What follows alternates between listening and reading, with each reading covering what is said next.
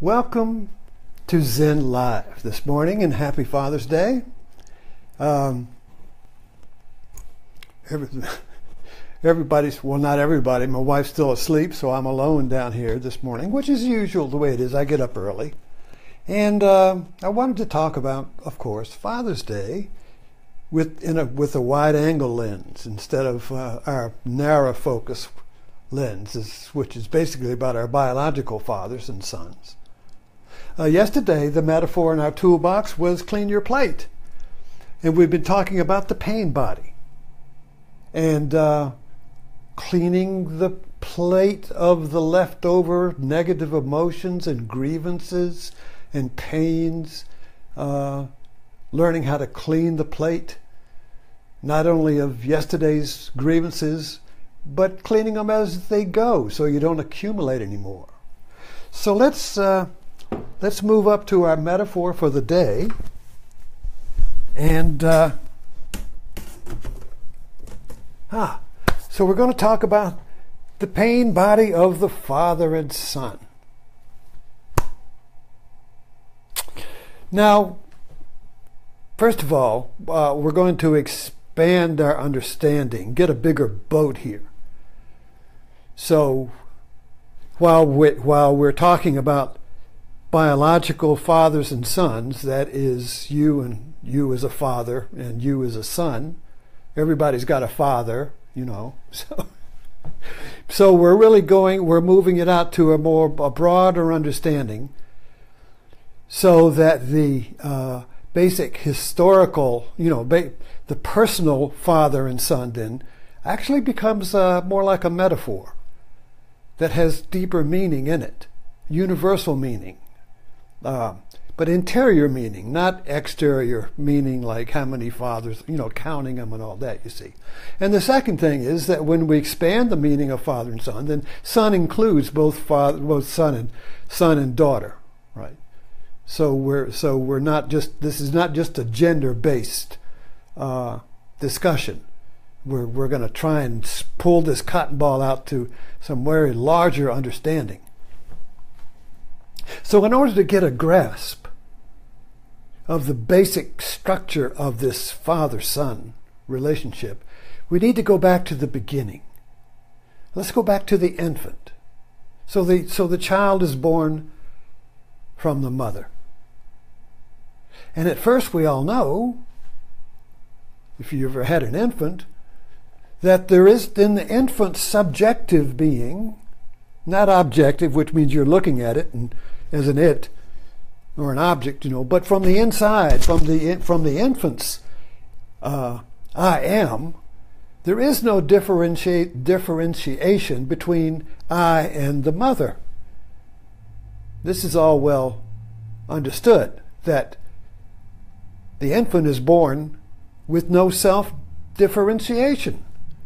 There is no I am aware of it. There is no uh, I, it. There is no awareness of. There is just awareness as. So the infant is aware of the breast or the mother as itself. There is no separation. And this is analogous to the Garden of Eden of unity with the world, no differentiation, no sense of separation, no I in it, no I at all awareness as. And we all return to this all the time, but we don't realize it. When you go to a movie, you suspend disbelief. Now, suspending disbelief means that you suspend the awareness of yourself as a separate subject. Before the movie starts, you're aware of the person next to you. You might be looking around the movie theater and looking at this and that, or you're looking at the popcorn, or you're looking inside and thinking about, oh, did I turn the uh, stove off?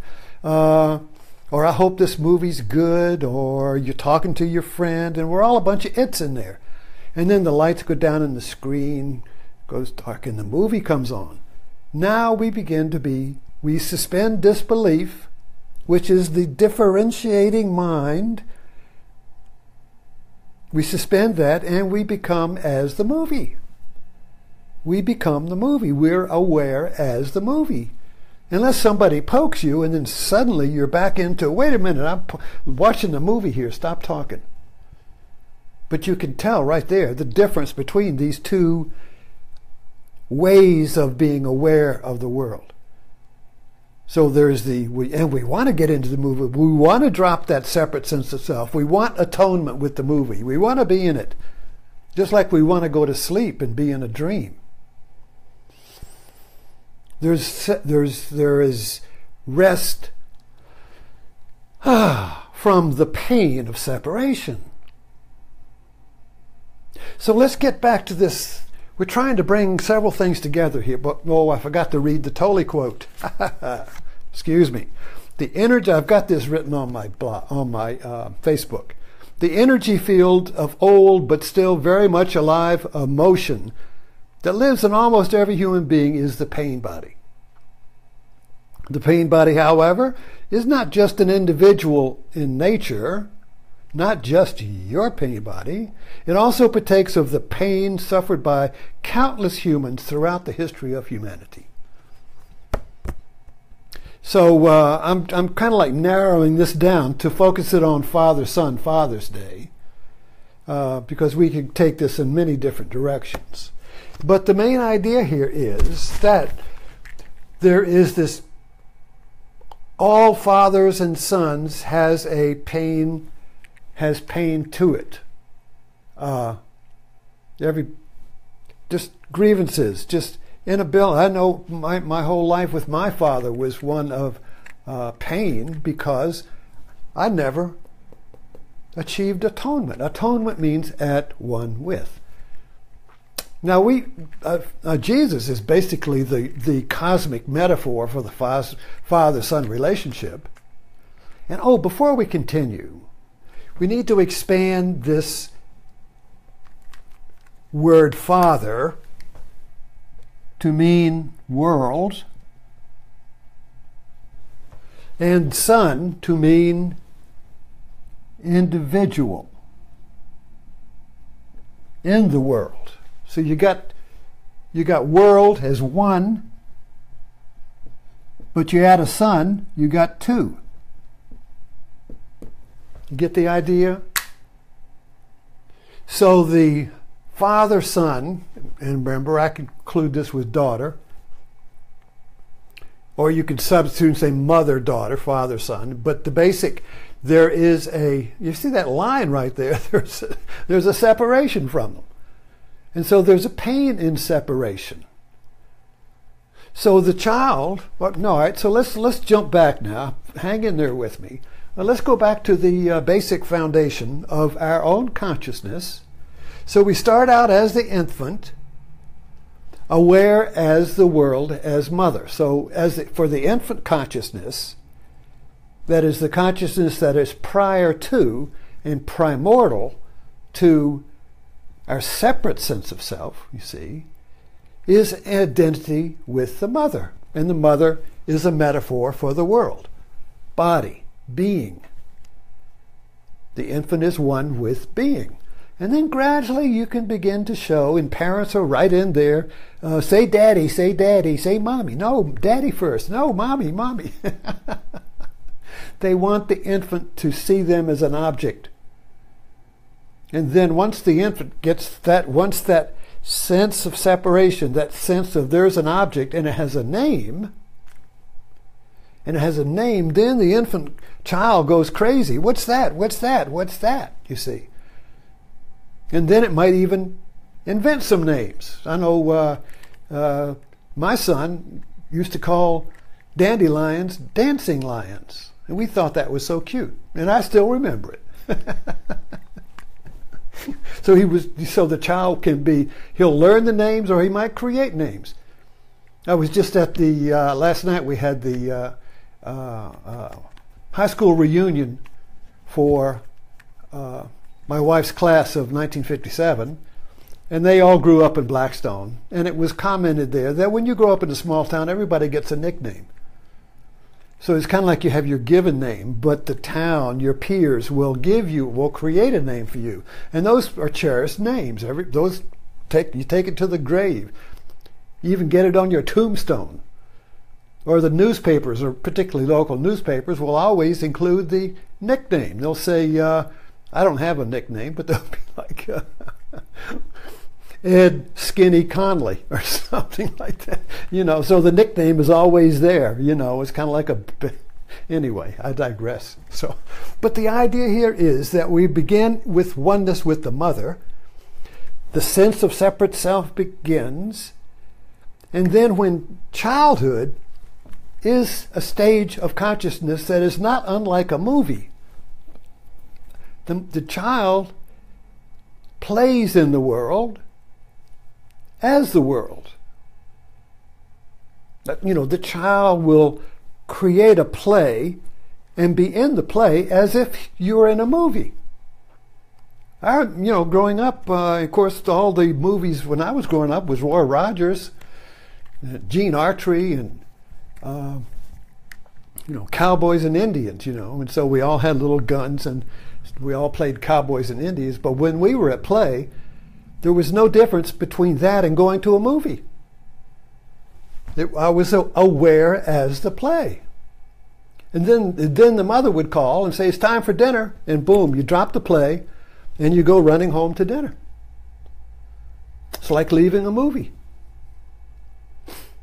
So, anyway, the, the thing we're working with here is that there is a dance between, there is an evolution now, an evolution between being one with the world, one with the mother as an infant, which is being one with the breast, one with everything, and then gradually the differentiation of the self, and then the child goes into a world of play, which is oneness, and then he has to grow up. Damn. and he has to leave his childish things there. He has to leave his play. He has to leave his teddy bears and his toy guns, and he has to become an adult and have real guns, you see, and live in a serious world as a separate self, you see. And who's the guide to take you into that world? Well, that's the Father. So the Father then enters into the child's the, the child's oneness with the world, first as mother being, then as play in the world. And then the father becomes the threshold guardian, the guide, the instructor, uh, the, the, the, the boot camp DA or whatever the uh, the military, you know. In other words, he's going to be either soft or hard. But his job is is to take that child and go and move him through the threshold of childhood, adolescence, childhood to adolescence, adolescence to adulthood, you see. So the father shows the child how to function in the world and survive. Maybe get a job as an engineer, make a lot of money, and not just don't play the guitar. don't don't be a don't don't be a guitar player. Uh, be a lawyer. you see. uh, that's what I did. You know, so in other words, so there is this, inter- the father then is a, uh, and I say threshold guardian because to the child in the world of play, the mother in play, you see, the father is like, he's standing there at the gate to the world. You got to go through me, kid. You see, you got to shape up. You got to get rid of that long hair. You got to get rid of that uh, those childish things. You got to get rid of that immaturity. You got to grow up. And if you don't grow up, I'm going to kick you out there. Do the John Wayne. You can't swim, throw you in the lake. so, you, you get the idea here that we're looking at the evolution of our consciousness from oneness with the mother, with play again, then separation. Now I'm a separate sense of, now I'm an adult, you see. I can't play anymore. Uh, I got to get serious, get a job, get focused, get focused, have a goal, have a purpose. Uh, and yet now there's pain. So the son daughters too. There is there is a uh, there, there is there are two commandments of life that cannot be obeyed simultaneously at the same time. There is the commandment to let there be one. Okay, so this uh, is, is described as uh, Freud would describe it as a yearning for infantile consciousness or a yearning to return to the mother and all that. Well, that's, that's just one way of looking at it. Or you would look at it mythologically and be uh, the yearning to return to paradise. In the religious context, you would say the yearning for the Garden of Eden. You see, when, when this separation consciousness was born, which was Adam and Eve disobeying the Father and eating the fruit of discernment, of, of differentiation, when they ate the apple, that created a separate sense of self, you see, which divides the world into good and evil, you know. That was a stage in the evolution. But it kicked them out of the oneness of the garden, you see. So now we're longing for that oneness because the commandment, let there be one, must be obeyed. Yet there's another contradictory commandment, which is, let me be unique. Or the one. You see the contradiction here? Let there be one means to be in as the movie Ah, there's no sense of me in the movie. I am the movie. Then somebody pokes me and says, You want some popcorn? Or it talks. And that breaks you out of there and breaks you into the sense of myself as unique. I'm now separate from the movie. I'm now uniquely separate from the other person, from the whole place. I'm back in this little one little me that's separate from the world, you see. And I get pissed off. I want to get shut up. I want to go back to being one, which basically is going back to being play and with the mother. The movie is play. We suspend disbelief that it's play, that it's not real, rather, and pretend it's real. That's called play. Read a book. You suspend disbelief and you pretend the book is real. Watch a TV show. You suspend being the unique one that's separate, and if the TV show is good, you become one with the TV show, particularly in laughter or horror. These two elements will draw you in. Get that? When you laugh, you are one with what you're laughing at, with the world, and when you are uh, in a watching a horror movie and you you ah, the ah, and the ha ha ha is the same oneness. When you stop laughing or stop screaming, you're back as a unique separate self, you see. So I hope you get kind of like an idea. This dance is going on all the time. But there is a fundamental pain body here, a fundamental pain to this intermediate stage in the evolution of our consciousness, which but for most is our whole life. That's why Buddha called, said life is suffering. This stage, there's no suffering here, and there's no suffering here. We haven't got to that yet, but there is suffering here because it is the suffering of the inability to obey the two commandments of life, which is be one with life and be separate from life, both at the same time. You can't do it. Either one or the other. You either are a rebel or you obey. That's the choice offered to the son or the daughter.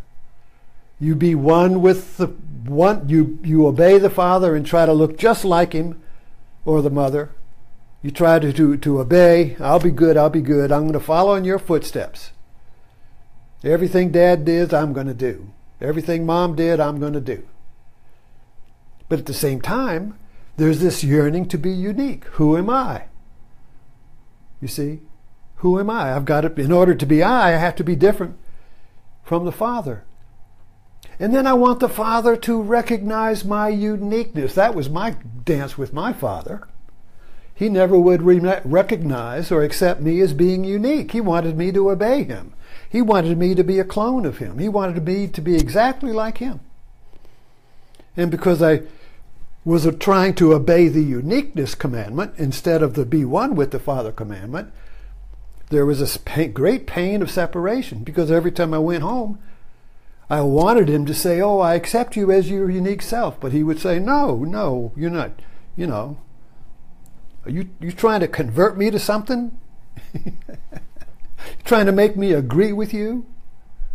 Said, No, you have to agree with me. Uh, so this you can see this fundamental uh, angst in this relationship with either the father or the mother because of our inability to be one with the father, mother, world, and separate from it at the same time. So this then becomes our Zen koan. This then becomes the enigma of consciousness. This becomes the Gordian knot. This becomes the holy grail. This becomes the quest. All the myths and all the fairy tales are really based on this suffering and the desire to be to transcend it or to be free from it, which in the Bible is described as atonement. And so uh, Jesus, you know, as the role, as the model for this whole dynamic, says, "I and the Father are one." Now, see that has levels. I had one moment of atonement with my father out of my whole life with him. He was 94. He was in the hospital. Uh, I'm not sure he, but he was, uh, but he, he, had a stroke, so he was not in his uh, old angry father self. He was more like uh, um, being there. He was just uh, compliant with, you know. And so when I walked into the hospital by myself before my mother got there, and he saw me and he opened up his arms to me Imagine that, opening up your arms. And with that nonverbal, with just that one nonverbal opening, he had never done that to me. He just opened up. And I just ran to him and hugged him. Atonement. And he said in my ear, I want to die. And in a couple of weeks, we took him home in hospice and he died. But just that one moment was the atonement that I had been yearning for my whole life with him. And that was enough. That was enough, you see. But that, um, um, so in other words, so when Jesus says, I and the Father are one, basically, and that now we have to realize, now he's not, not talking, see, the problem we get with this is we say, well, is that, is God his, his physical daddy? Like my daddy is my daddy? You see, that, that's a very limited way of looking at it. I mean, you can look at it that way, but it has limitations. It's narrow. So when we expand the meaning, and Father means the world of, of existence that I'm in, you see, that's the, the Father. God the Father means all. God is all the totality. So God is all includes includes the external world of objects and me as a separate sense of self, you see. So the all, the totality, if that's what God is, includes me and the world, me as separate from the world. But it includes it as one, you see. So that's the atonement I want. That's coming up to here, you see. So the whole drive of the evolution of consciousness is towards the transcendence of this the pain of separation to become the one, which is atonement, in which the Father as the world and I are one. Which is going to a, like going to a movie, but this that's metaphorically speaking, but experientially the same. So when you go to a movie, you're one with the movie. You're at, at one with the movie as the world. The movie is a world. It could be a, a world of Egypt or whatever the movie is about, but it is a complete world. So when you suspend disbelief in this separate son, you, send, you suspend the separate son, and you become one with the movie, you are becoming one with the world. And it's a very nice place to be. That's why we got movies. but uh, the problem with the movie atonement is that it's temporary. And of course, it's not real. So we leave the movie and come back into the world, we're back into separation and the pain of separation. So the pain of separation with the Father, the pain of my separation with my physical Father, who could not open his arms and welcome me, was the pain I felt about the world at large, which did not open up its arms and welcome me we get all these little moments, you know, when you get when all the lights are green, you say, "Oh, thank you, God." Just little moments, teeny moments of atonement. When all the lights are green, everything is working. The money comes when it's when it's needed. Serendipity, things happen circumstantially but seem like they're planned. You're thinking of somebody and they walk in the door. All these little things are little flashes like flash bulbs of atonement when you are one with the world. And you can't believe it. You think it's a miracle. or you thank God. Say, well, maybe he just remembered me. Just maybe daddy just remembered me just for this green light. you see. But it's temporary. You can't hold it.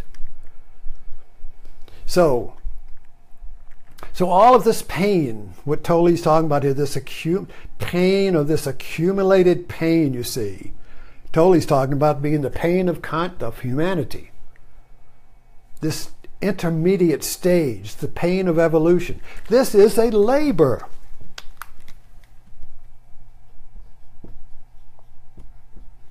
The labor of birth to a new sense of self that is at atonement with the world, that is at rest with the world, that is at ease with the world, that is at home in the world. No matter what the world is doing, you're okay in it.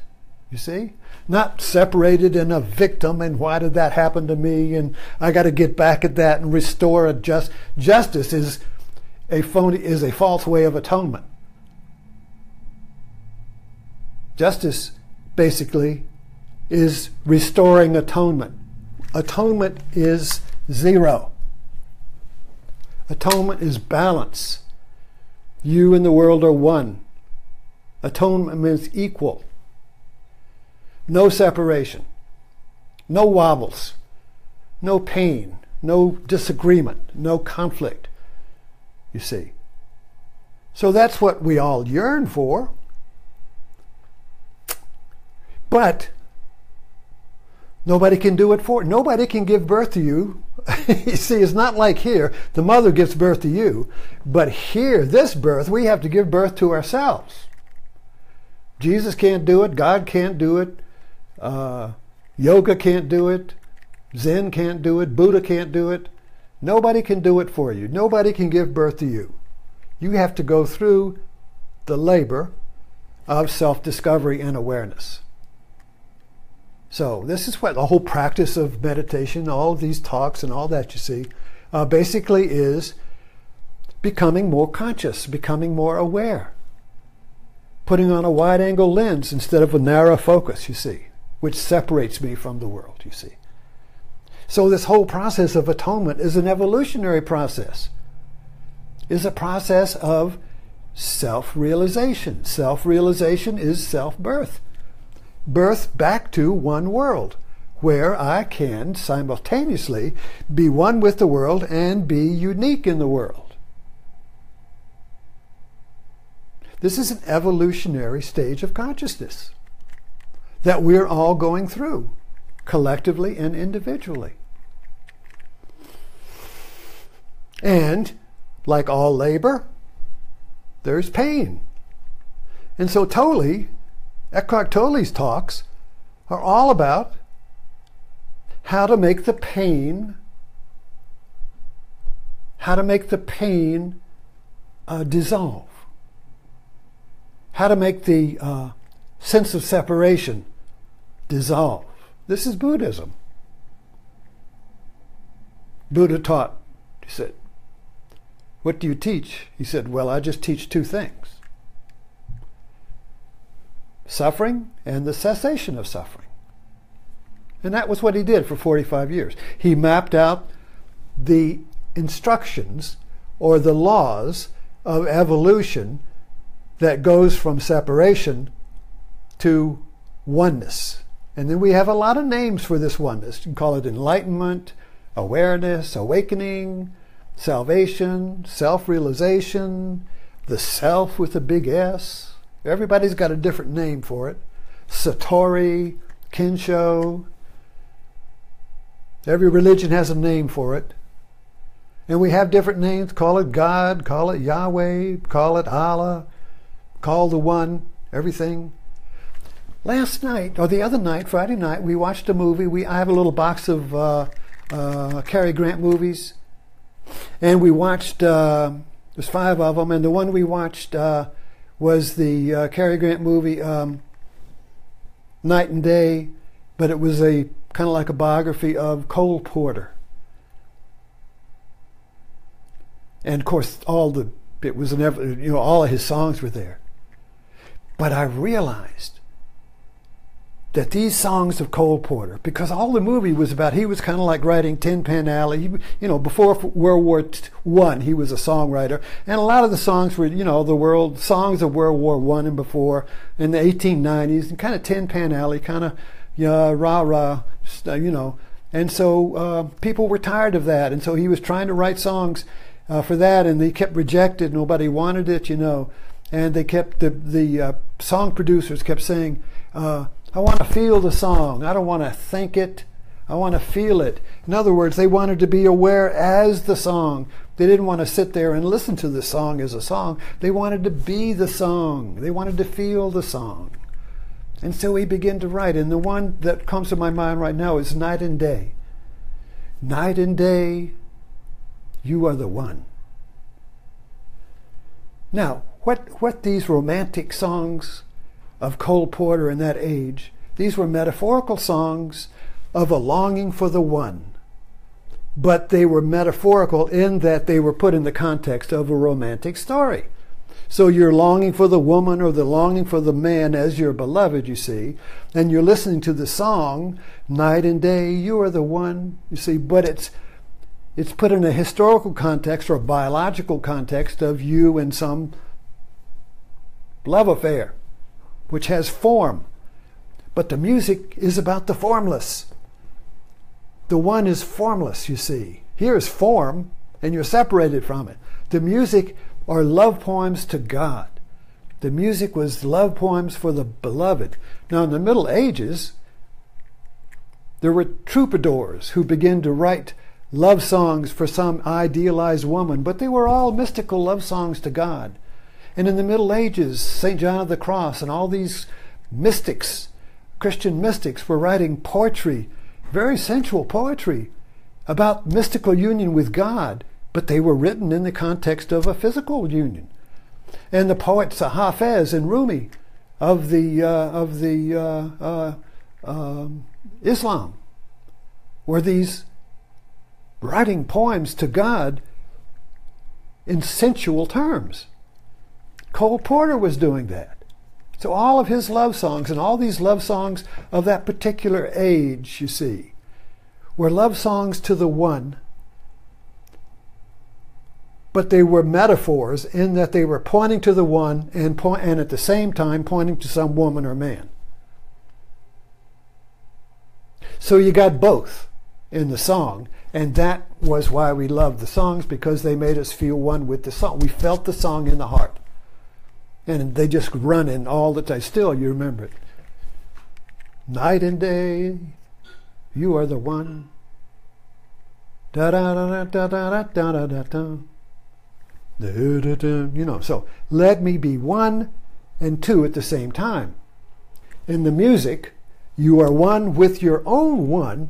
In the music, you are in atonement. You are back. You are at one with the world in the heart, and at the same time, you were separate because you were you were seeing the, the the, the song was about the one in which you have an atonement with, or the physical person in which you have atonement with, which is called romantic love. Romantic love is bam, you're one with the other. And all these love stories are about the pain of separation.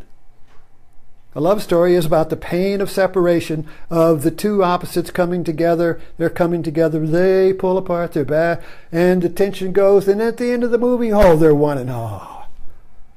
Oneness forever after. You see? So anyway, I hope uh, we've expanded the father-son relationship a little bit here, so that we can. Uh, perhaps understand the angst and the pain of our own father son, mother daughter relationships in a wider angle. And we can see the, uh, uh, the fact that it is an evolutionary stage that is pushing us, like on the pirate's plank. The pirate's plank is a metaphor for being pushed to the edge of your sense of separation or the known. Me, you're pushed to the edge. There's the, there's nothing there, and there's there's a uh, somebody with a sword behind you. Go ahead, step off, step off. Evolution is the pirate's sword, and the one is the end of the pirate's plank. Because we're afraid of the one. Because if there's the one, then who will I be? If I dissolve into the one, where will I be? Who, what about me? What about me? You see? So this sense of me, this sense of separate self, clings to its little self, clings to its me. It doesn't want to be God. It doesn't want to be one with God. It wants to be, it wants to be unique. But evolution is pushing us towards being the one. So the leap here is a leap of faith that steps out Faith that there is one. Faith that in the unknown there is one and I'll be okay. Faith that that's what okay feels like. Feels like there is one. When you have this feeling of atonement or oneness, you feel okay. I'm okay with the world. Even though the washing machine just blew up and I don't have any rent money, I'm okay. Even though I don't know what's going to happen tomorrow, where the job's coming from, I'm okay. That's atonement. I'm okay. Even though I'm just getting divorced and all of this stuff, I'm okay. So be okay. no matter what happens, be at one. Be okay. Thanks for dropping in on this Father's Day, and I'll see you this evening.